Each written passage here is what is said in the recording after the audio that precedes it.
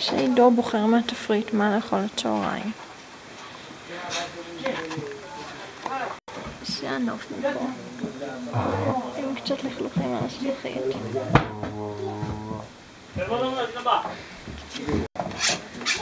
שותה.